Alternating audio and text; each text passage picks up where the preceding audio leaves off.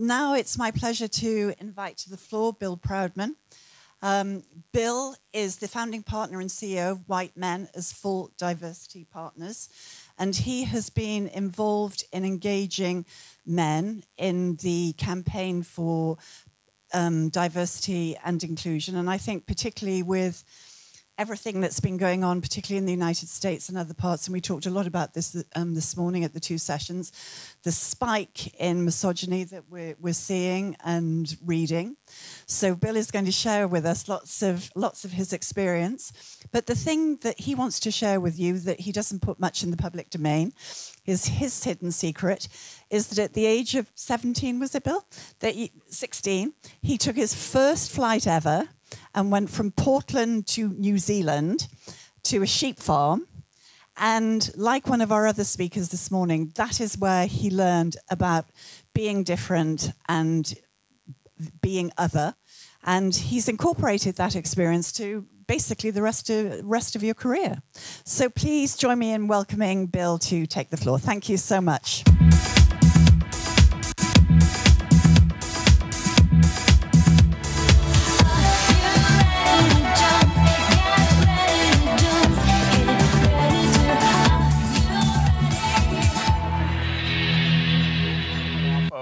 The research that you have and sort of I sort of resembled myself as I was listening to talk to mid-level managers because it feels like that's what the last 30 years of my life have been like of going through all of those practices. So in 1987, I had just moved from the eastern part of the US to the western part.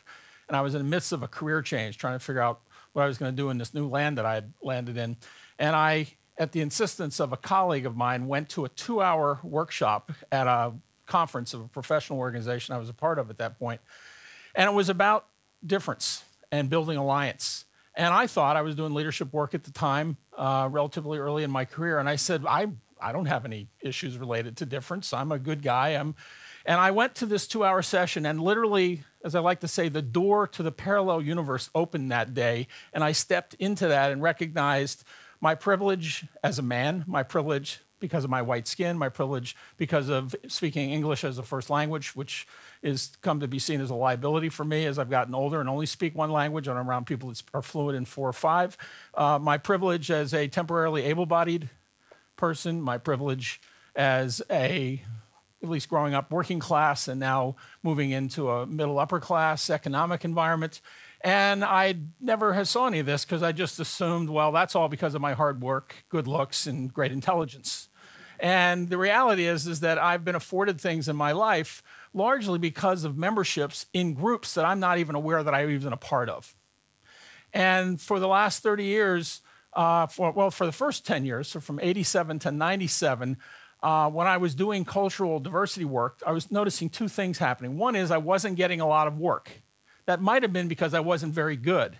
But let's assume that I actually had some value. I was noticing I'd get more work when I was paired with a white woman in the US or a man of woman of color. Because what would happen is that I experienced what I call the potted plant syndrome, where when the issues would come up, my coll- or the, our clients, these managers, senior leaders largely, would always defer the issue to my colleague. And it usually came from people that look like me.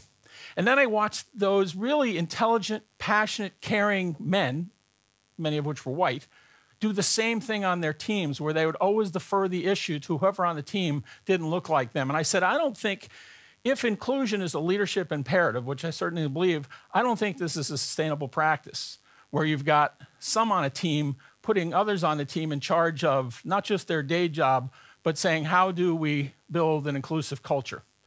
And I watched this happen regardless of the industry I was in. So fast forward three years ago, I'm sitting, I live in Portland, Oregon, on the western part of the US. I'm sitting in the waiting room of the car wash, waiting for my car to come out, and up comes, uh, I look down on the table, and this is the Bloomberg Business Week cover. Um, actually, let me go the other way. there it is. New fertility procedure gives women the quest and the choice to have it all. That was the, that's the little print. So what do you what do you what do you make of that as you're sitting here looking at that? So that was an actual cover, Bloomberg Business Week, April of 2014. What's some of your reaction to that as you sort of see that without even reading the article? Anybody? You're saying you're, you're surprised it was only four years ago? Yeah. Yeah, 2014. What else? What other reactions do you have? Sad. Say some more. Sad how?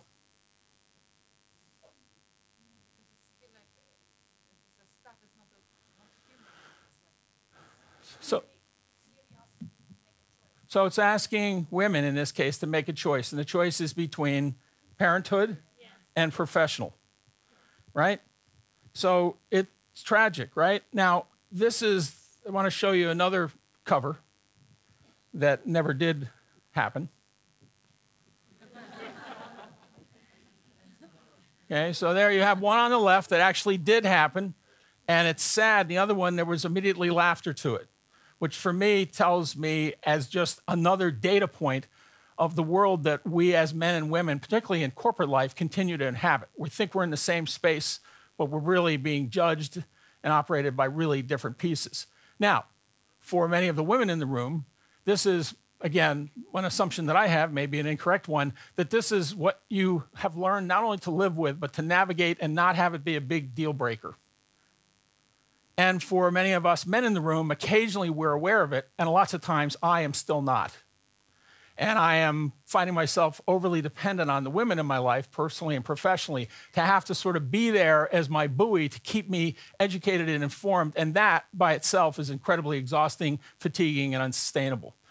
So, this notion about um, stepping into this work for me is not about how can I help those people, in this case, half the sky who happen to be female, what I can do to sort of create gender equality, as if somehow that your job is to sort of tell me what to do. And by the way, when you tell me what to do for the 54th time, and for the 55th time, when I say, I, I didn't get that, there's a fatigue that sets in, or a little, not a little, a lot of annoyance on your part of saying, Bill, how come we have to have this conversation yet again? And so part of this work that I've come to see, and is what I've been doing for the last 30 years of working with men in particular, but actually all leaders, is to say, what's the role of men in creating gender equality. And it is certainly to help women be able to bring their innate intelligence, skill, ability, and potential into the workforce so that it is not judged based on their gender, but simply because of their talents and abilities. But it also is because I and other men have been severely impacted, negatively impacted by a system where part of myself I was taught when I was this high to keep that in the parking lot somewhere or out at the tram stop, that I couldn't bring that to the professional environment.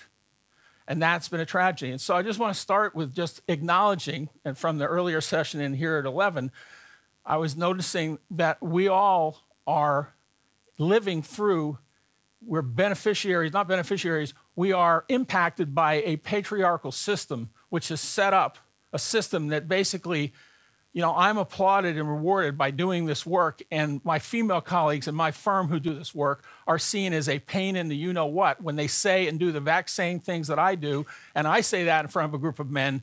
They're a little bemused by it, but I have I'm usually met with a lot more. Well, that's really interesting. Tell me more, particularly when they disagree. So I have the privilege of being able to be an irritant without being accused of self-serving and uh, self-advocacy, which is one of the reasons that this drives me. So I want to talk just for a second about this is another piece of research that Catalyst did in 2009. I love this uh, piece because it's relatively simple. And Elizabeth, it goes to some of what I just heard you uh, talk about with your research.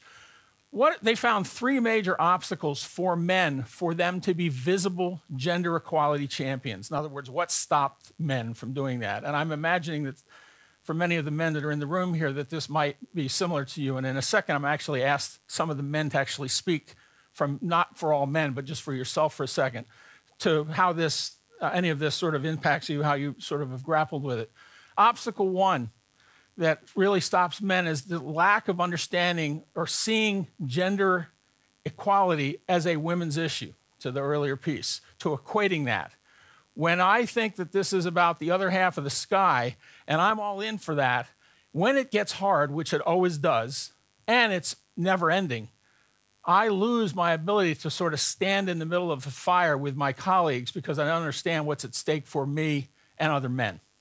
So mutual self-interest, in, incredibly critical, is what this piece of research found, and that certainly has been backed up by our 30 years of work, of working with male leaders. So that's key. What's my interest in this? That parallels and connects with others' interests, in this case, other women as well as other men.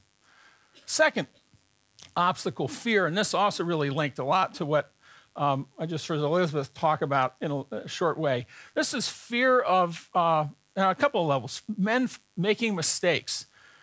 The, the example I heard 20 years ago, I was working at an energy company in the US. I talked with a man who he said, Bill, he said, I am so unsure as to what to do in the morning. I'm afraid of opening the door for my female colleague, going into the company headquarters because I'm chewed out for that.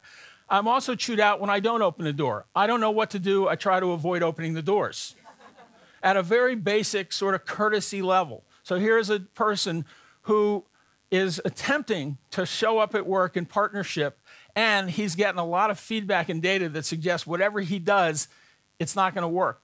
So the privilege, again, for many men, is we have the privilege of basically backing out of that, going into our man cave or whatever else we want to call it, and to say, I tried it once, it didn't work and I really, there's no, no one's going to think bad of me not to be engaged again.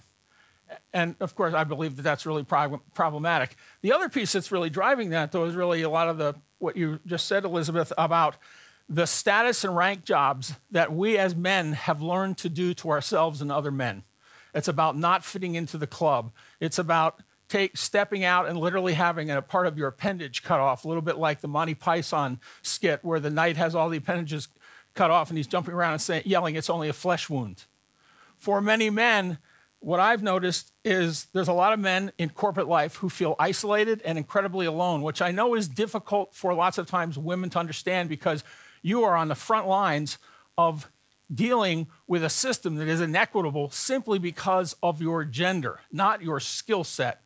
And you've got other men in the system who feel alone and isolated because they don't have a women's leadership resource group. They're taught to suck it up from a young age. Don't ask for help. Don't ask for support. Uh, the statistics show that a lot of men do not get uh, mental health care to the degree that women do, and it's not because men have less problems than women. It's because in the, the system and the society has told men if you show that sign of weakness, you're seen as weak.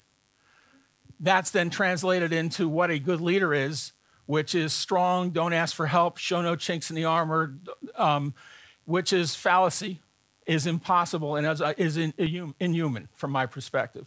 So, this fear of making mistakes and fear of other men's disapprovals can really stop some of uh, men just short. So, I want to stop at this point, and I, first of all, I want to acknowledge and appreciate the men that are in the room, and I want to just I want to specifically ask the men in the room if you're willing, and to do a short version of this.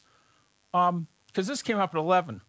Why are you here? Why did you come to this conference at a personal level? Not because you were told, but what? Anybody willing to say why? Why are you here? What? What? What's uh? What's in it for you? Yes, please. Thank you. Yeah, hold on just a second.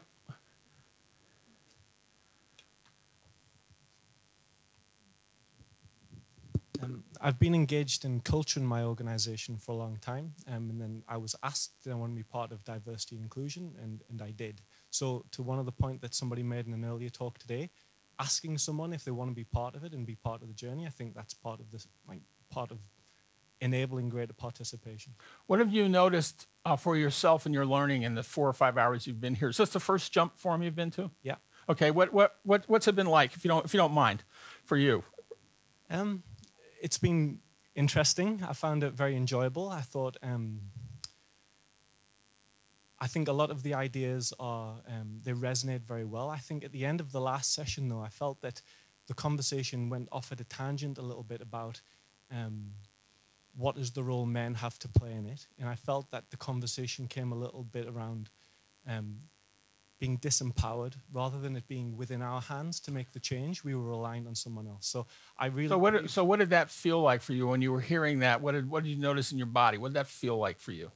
It felt a little a little threatening uh-huh. but um, but but I, I, mean not not in as much that isolated you're the enemy. It's that um, the reason there's the problem is um, that the men around here are to blame for that. And I, I, don't get me wrong. I, I, I think the, the reality is the reason we have the problem in business today is because of historically we've had men in those positions who Yeah. haven't made the right inclusive decisions. Yeah. Um, So let me first of all say thank you for actually honestly answering my question. You felt a little uncomfortable. I appreciate that. And for those that were in here that are female, it was a great conversation. So one of the things we're going to get to, and it's going to be very brief, and it's in that handout, is don't collude.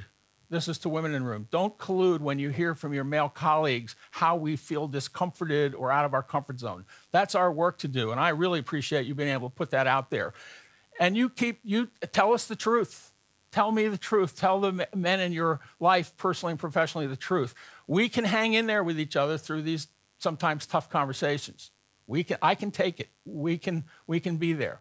So thank you for that. Other guys, uh, please. Here comes, here comes a mic. The first question, why, why I'm here? Yeah, why you're here? Well, I'm here because, um, well, I'm passionate about creation. Mm-hmm. Okay? I mean, something that we we talk about it in our organizations. Creations is combinations of the best. Among the best, you need to combine the best people, and I think that participating to event like this helps to overcome differences and make sure that we take the best of what we have, um, and overcome gender inequality will help us to to get the best people in the team or the best people in the organizations or whatever you name it. So you I, used I was us. hoping to learn something on how to do it. What's one thing that you've learned so far or relearned? Um, well, one thing that I've learned is um, the fact that many of the things that we are saying today are valid in multiple occasions, not just in respect to gender Yes. equality. And, and that was a very good thing for me. And I, I learned about this concept of empathy Yeah. and then putting myself in the other shoes.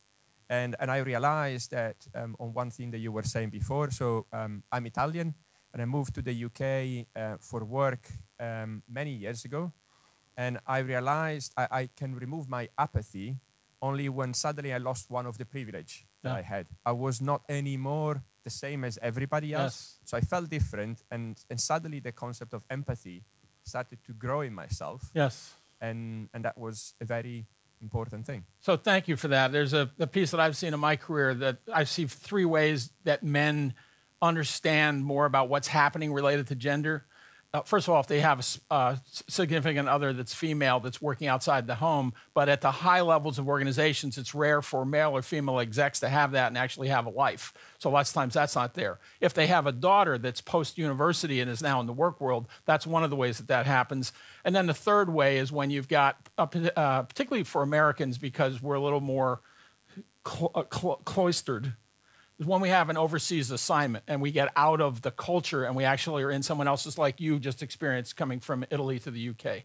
So thanks for that. Um, one other uh, gentleman? Yeah. Okay. Uh, it started with discussion with my wife. We did the same studies. We go, went out of university the same moment, and we started working this at the same time. And we discussed time to time about our works and how it goes. And I didn't realize. I was like, sometimes she was explaining about how it's she's struggling, and I was like, no, it's not possible. At the beginning, I wasn't even believing her. Yes. And then she was giving me examples. I was like, whoa, I didn't, I didn't notice that work. And for me, the first step was to being aware of it. And I, it, took me, yeah, sometimes to realize it. And then for me, it was how to went from the passive to the active side and really to participate into being integrative uh, about it.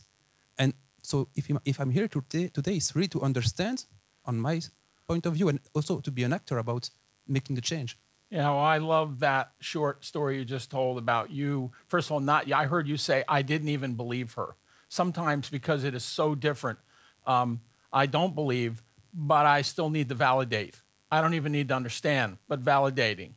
Uh, I don't know about you, but many men around the globe were really wired about we want to immediately move from we hear something like that, we want to go fix it. Anybody else resemble that comment? And lots of times, actually, my significant other of 25 years is here. Pam will say to me, Bill, I'm not asking to fix the dang problem. I just want to talk about where you're at. Let's talk, start, start first with feeling. How are you feeling? Oh, it's a feeling conversation. All right, so I can sort of access that as if somehow I've sort of stepped out of one box into another. When I do that enough times, I realized I always have feelings. Part of the cost for me about living in a patriarchal system is that I learned to suppress those feelings when I was this tall or this, this big and through life, and then mostly feel numb instead, which is also a feeling. But at feeling, it's a masking of other stuff. And so part of the thing for me is reclaiming over the last 40 years that I am a feeling, empathetic, intuitive, caring, compassionate human being. And the cost for me to not see that myself puts more pressure on the other half of the sky to have to bring that into professional environments. And that's not sustainable for you, for me, for us. So thank to the three of you. Let's go on a little bit. We had a little bit more time. This last obstacle is ignorance. To your point, ignorance should not be confused with lack of an intellectual capability. It's what you've so beautifully put it what I don't know that I don't know simply because I'm not living in someone else's shoes. This happens to be the person you care the most about. And she's telling you over and over and over, and you were smart enough and loving enough to actually stop and listen to her, particularly when you didn't see it or didn't believe it. Lots of times, the ignorance that I show and other men show, again, this is I don't know that I don't know, gets misinterpreted as Bill, you must be doing this on purpose because I see you competent and capable over here in your day job, so I don't believe that it's simply you're just blissfully ignorant. That can blow up our partnerships. And what I've seen, particularly executive men, do in response to that, which I don't think is very helpful, is to do what I call a fake it till I make it approach. Because they learn that that's not playing well with their direct reports and it's costing them. And so they basically get coaching or they get talking points from HR, from legal, and they're now reading stuff. They're saying all the right stuff, but nobody believes them because why? It's coming from up here and not from down here. And so having being able to allow yourself to be at the place that you're at. So when I'm now conscious that I don't know something, which is often, I might say, actually I'm more confused about many of these topics now, 40 years into it, than I was when I was blissfully having a nice life, doing really good work, but didn't know any of this was happening. And part of that is being able to be okay not to have conscious incompetence, which is knowing that I don't know, not, not having that be an end destination where I just sort of set up and build a condo and stay there the rest of my life, but to actually say, this feels really awkward. I'm embarrassed that I don't know this and I'm age 61. I can't believe we've, you know, we're having to have this conversation yet again. I should know better. I've got to go through all of that as a way to sort of see myself through that to be able to get to that next place of conscious competence, which is the quadrant of practice, practice, practice. That's how you get better. That's how behavior changes. You know, every New Year's I make a resolution. This year I'm going to use, lose those 40 pounds. I go to the gym twice and it doesn't happen, and then I give up until the next New Year's. So it's about rapidity. You've got to go do behavior's got to be patterned over and over and over to create new patterns uh, and new habits. Okay. How much more time do we have? 10 minutes? Great. So I want to show a little clip. This is how many of the Procter & Gamble folks here in the audience? So this is, I love the work that you've done around the globe with your public service spots and some of your commercials. This is an Indian product. It's actually laundry detergent, Ariel laundry detergent. There's the plug. And um, I watched your CEO last week in New York City show this at the Catalyst Awards dinner. I've been using this spot since it's been out. And at first glance, what you're going to see between a father, actually a grandfather who's visiting his daughter, and what is dawning on him, he's going from what he didn't know that he didn't know to now he's aware of some things and he wants to go back into his life with his wife and do something different. Now, what he does can feel really trivial. He basically starts to do the laundry. And you can mock that and say that that's, you know, that's ridiculous. But really it's it's about how do we share the load? So this is not simply one half of the sky's problem that the rest of us just basically sign up and say, tell me what I need to do next. As if somehow that's your job. So take a look at this little PNG clip called Share the Load, and then we'll chat about that. नाना ये देखो shield leg helmet homework हो गया mummy ये देखो फिर दाग लगा दिया। पापा ये लीजिए आपके घर जाने की ticket hello yeah I am just going to send you the email in 5 minutes yeah give me 5 minutes I am working on the present मेरी छोटी सी गुड़िया। कितनी बड़ी हो गई? घर घर खेलती थी अब घर संभालती है। ऑफ़िस संभालती है। I am so proud and I am so sorry sorry कि ये सब तुम्हें अकेले करना पड़ता है। सॉरी कि जब तुम घर घर खेलती थी तो मैंने तुम्हें रोका नहीं। ये नहीं कहा कि ये सिर्फ़ तुम्हारा काम नहीं है। तुम्हारे हस्बैंड का भी है। पर कहता भी कैसे है? और मेरी ग्रीन शर्ट धो देना। मैंने भी तो कभी तुम्हारी मम्मी की हेल्प नहीं की। और तुमने जो देखा वही सीखा। तुम्हारे हस्बैंड ने भी बचपन में यही देखा होगा। घर घर खेलते वक्त वो टीवी देखने की या न्यूज़पेपर पढ़ने की एक्टिंग करता होगा और तुम जैसी कोई छोटी सी लड़की चाय बनाने की एक्टिंग करती होगी। उसके डैड की तरफ़ से सॉरी तुम्हारे डैड की तरफ़ से सॉरी और हर उस डैड की तरफ़ से सॉरी जिसने कई कई सालों से एक गलत एग्ज़ाम्पल सेट किया।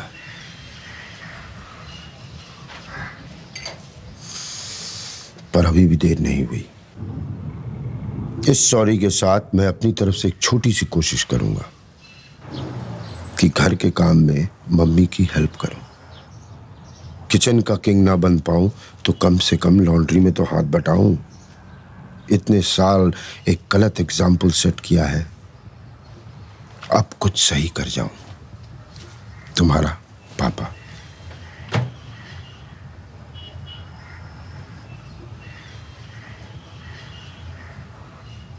So let's not talk about necessarily um, laundry, although we really need to do that. That's fine. I want to talk. I want to invite again some of the men in the room to say. So, what is what's it mean for you to share the load related to gender equality? What do you know coming in? What have you relearned again this, today? Um, what's what's it mean for you to share the load with gender equality? Anybody? Uh, this is for the men, please. And I don't know where the mics. Here it comes. Thank you. Thank you. Um, maybe I have an insight for it because I had the chance maybe to work for the last of more than 25 years now for companies who already integrated all the gender uh, issues of women. I work for more than 60% of our, our business is uh, of women. So, um, but I'm still surprised, and it's in fact my the insight of for me today is that the discussion is still on men and women. It's not just above on the biases and to work on the real biases because it's not only men and women again. I work a lot with millennials in the company and so on, and you don't even talk about men and women for millennial, millennials today. So uh, I'm pretty surprised of surprised of all these discussions that are still only on that level. Yeah, and so one of the things I would invite you to do is to notice what is behind your surprise, what what might be why it is that you're a little shocked about why that's going on, and then f- from your place of power in the organization you're in, what's your next sort of step forward in those partnerships with other men in the organization as well as women? So thank you for that. Um, just a little bit louder. Share of load, share of load is share of duties. I think that every time you have a situation with either a partner or a team, there needs to be a share of duties. I mean, it's helping each other. There shouldn't be a pre-definitions of how these duties should be distributed. But sharing, I think it's it's a very valid and important. And I appreciate that. And then that bumps straight into Elizabeth, what you talked about, which is I leave at four o'clock to go to my grandchild's choir rehearsal. I'm a Renaissance man. My wife, grandma, does that, who's a work who's still working. She's seen as not gonna not committed to the project, not committed to the team. And so I have a lot more latitude to be sort of the Renaissance person and then and then just assuming that well you can do that also because we've done all this great work in the last 30 years and I'm not listening to how it's impacting women in my organization or on my team or in my little firm. And it's not about woe is them. It's about why is it that I don't know that and what is why are they not able to tell me their truth because they've obviously told it to me but I didn't hear it. And it's not about me fixing it for them because that's a little demeaning and patriarchal. It is about me not noticing that this is happening all around me. So there's work to be done. Like we're never there's no there's how many of you are in safe manufacturing operations, right? So your safety mindset, same thing about inclusion. We're never done with this. We've got to inculcate that into everything that we do. Yes?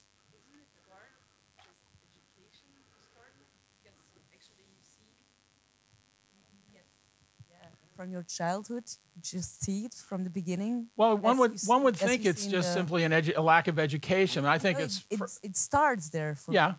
but i think it's also really baked into the fact that i've grown up in a patriarchal system that has made me be rewarded to be not able have to see this with no perceived short and long term cost. And then it's on in this case my female colleagues. We could have the same conversation about age with millennials. We could have the same conversation about ethnicity, nationality, uh.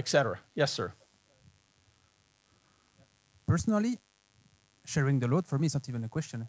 It's about being a team and the work has to be done. So if it's one or the other, uh, it says the same in the team. If there is 100% to do, okay, everyone does, does 25 and the, the work will, will be done. So if I'm going home, there is something to do, I'll do it. And if she's going, going coming home, she does it. So there is no share of the load. It's only we are a team, we do the load. And together, for, for us, it's not even a question. Yeah. So I appreciate that at home. Bring it into the corporate life. And this is, we're involved, our firm is involved with Catalyst with their MARC program, Men Advocating Real Change. And a lot of the work that we do there is saying, how, what's our work with men intervening with other men in a, in a work setting when the conversation goes a little south, somebody makes an offhanded comment, there's no women in the room, we're noticing it's not okay, and I, and I find myself remaining silent. And I got to say to myself, and this is sort of an American thing don't kill a mosquito with a hatchet. But at the same time, for me to be silent, I collude with the very behavior that I find objectionable. So, how do I raise this back to intervening for me as a man with other men without wanting to sort of take the guy out at the knees? And part of that is sort of uh, some of these tips here that we've collected over the years, um, which we're not going to get a chance to discuss, but you can use those to look at what's my work with other men, which is a whole nother corner of the universe that's never done. And then I've got, and that, that informs my work across, in this case, gender with women. And then women, you have your own work to do with other women. Somebody mentioned that the statistics show that a lot of women prefer to report into male managers because of this patriarchal system that has clouded what good leadership behavior looks like and tilted that towards more typically male behaviors. When women do the same behaviors, they're called not real fun words. Some of them start with letters like B. And yet there's this disparity. So I think we're probably up, bumped up against our time, Dorothy. Three or four minutes. So another, any other comments? What does it mean to share the load for any of the gentlemen? For you, and particularly, I'd say share the load at work. What's that mean?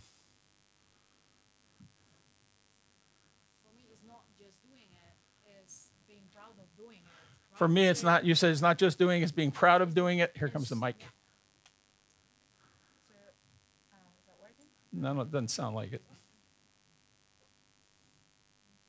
So it's not. I, I'll try to be loud. Okay. It's not Yeah. just doing and sharing the load, but not being afraid of telling others that that you are doing it. So being supportive and uh, stand up for the fact that you are supportive. So share your experience as a man that you are actually doing that. So my husband is not ashamed of saying that he did my daughter's hair, Yeah. right? But a lot of people do it, but they are ashamed of making it public and making it visible. So we are lucky models. There are actually good men out there, but still the society is telling them to hide. Well, and I think you said I love it. there- There's still good men out there. I'd say the vast major- I'd say the vast majority. I would say so. Hear me on this. I'd say the vast majority of men in the workplace are good people. We've done a we've done a good job of getting egregious forms of mistreatment and misbehavior out of professional environments. I know they still happen. My experience, that's the easy stuff to manage. It's the stuff that I do from a place of really positive intent that I'm not even aware of, and that gets sort of obscured with I must be, you know, I must be doing this on purpose. And I think we we got to really separate to say who among us are the evildoers. Coming back to one of the earlier American presidents that I thought was the problem, but now we have another. Sorry, I'm sorry, I'm sorry. Anyway, that this is everyone's work. There's no there there, as opposed to we are the chosen ones, and we're going to go out and sort of save those poor, you know, disparate souls that are are the problem. One more uh, person, anything about what's it mean to share the load? And particularly, I want to again another gentleman. Thank you. And if you can at work, Yeah. perfect. Um, so for me, sharing the load is more about being proactively helping in a way. Uh, what happens and what I see at work is that sometimes some of the tasks the, the men wouldn't take because they wouldn't see the importance of it. And uh, I would say my, my colleague women, they, they have this eye to say, okay, this is important and we have to work together. And uh, for, for me, sharing the load is being more sensitive to what's happening, being uh, understandable about what needs to be done, and taking the load from one to the other, whatever the task is. And that's how I, I think. Yeah, I is. love that. It's just really fine tuning our observational skills to notice stuff that has always been going on, but sort of it just bypassed us for lots of different reasons.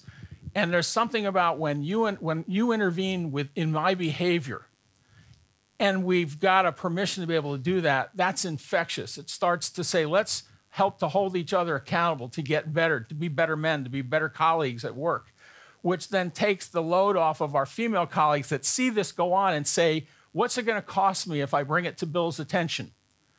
And they watch, they look, and it's because that's not your job. I mean, we can actually, if we actually got, if we actually did more of this, we'd actually get to the real work that we're trying to do to be profitable if that's your, your motive, right? So our work really informs how we then come across partnership. Let's hold it there and Dorothy, come back to you. Thank you very much.